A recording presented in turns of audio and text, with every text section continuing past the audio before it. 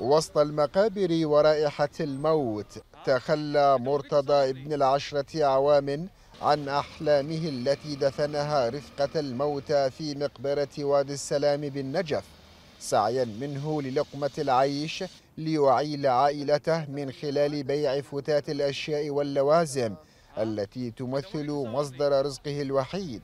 أمام زائري القبور كأقرانه من عشرات الباعة هنا. والله أنا أجي هنا أنا أشتغل وأعين أهلي عشر نفرات برقبتي أعينهم أشتغل من الصبح لحد الظهر.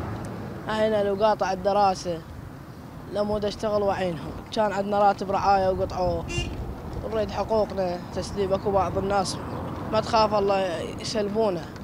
لكن يوم أنا همت فتحة ثلاثة عام خذوا فلوسي وخذوا أراضي كلهن عافوني وراحوا معاني معين ست نفرات.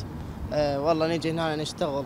عندنا سنة بالمدرسة ثاني متوسط جاي أدرس أجي هنا أعينهم أشتغل. وهنا ساكو بيهم بعض البسطيات تاركين دراستهم على مود يجون هنا يشتغلون يعينون أهلهم. على الصغير قبل الكبير تنعكس سوء الأوضاع الاقتصادية ومشاكلها.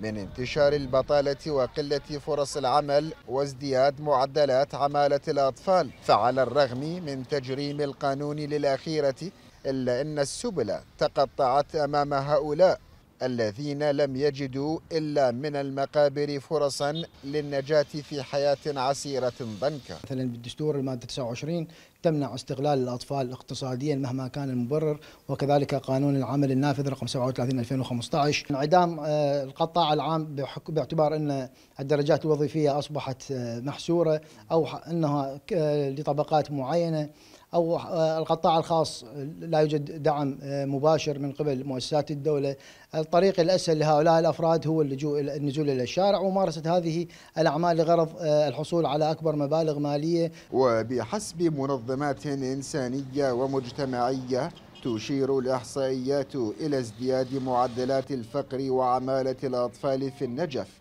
يقابلها ضعف في إيجاد الحلول الحكومية لانتشال هذه الورود من الأعمار من غياهب العوز والحاجة. من النجف محمد رزاق التغيير.